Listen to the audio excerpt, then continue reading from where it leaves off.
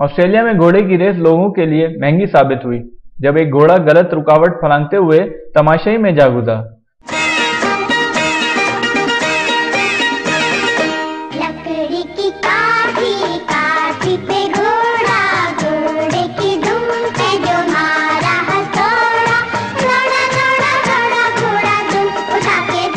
साढ़े पाँच हज़ार मीटर की रेस में ये घोड़ा बीच सफ़र में अपने मालिक रोवन वेमाउथ को खो बैठा।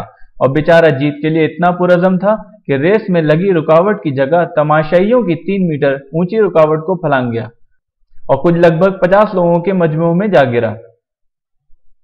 सात लोगों को हॉस्पिटल ले जाया गया और जिसमें एक छोटी बच्ची और औरत भी शामिल थी।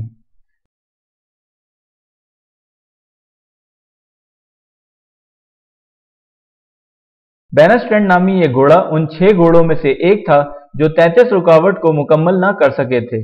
वहाँ के एनी शाहिदीन इस वाक्य को देखकर काफ़ी हैरान और परेशान दिखाई दिए।